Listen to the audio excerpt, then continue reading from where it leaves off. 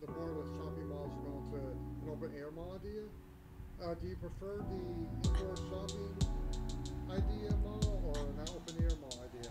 Indoor shopping. Well, if you want to go in the wintertime, you want to be halfway warm and not have to go in and out of shops and keep your heavy coat on, winter coat on.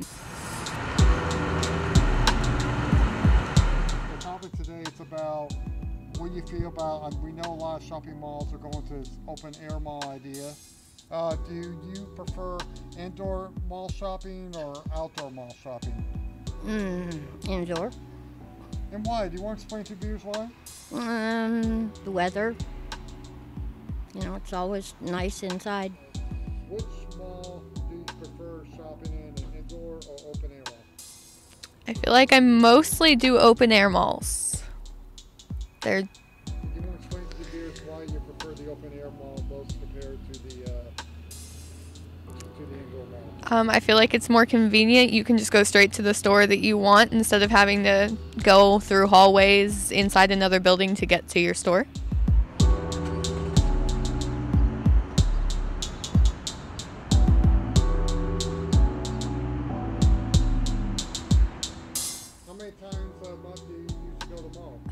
Probably only once every two months. A hundred probably. Maybe like four times a year, not very often.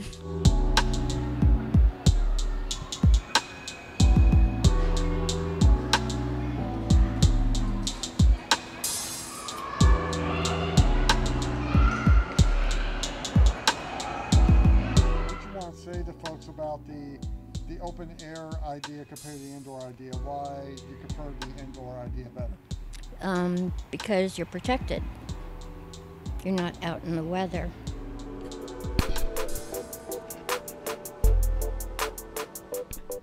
On the on the business uh, aspect of the mall, what do you think that that malls can do to attain more retail business?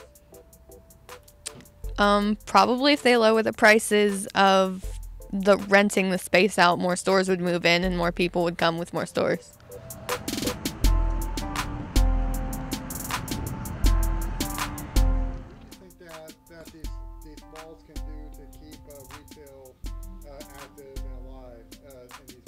Better security. Better security? Yep. Okay. Uh, I, the Monroe Shopping Center, that's an outdoor mall. I like that one be- uh, as far as that goes. Um, and a lot of your indoor malls like Corraine and Tri County, they half the stores are gone. I mean, they've just they've emptied the the shopping malls out. Where you can very you can't hardly find an indoor mall with very many stores in them that are still open.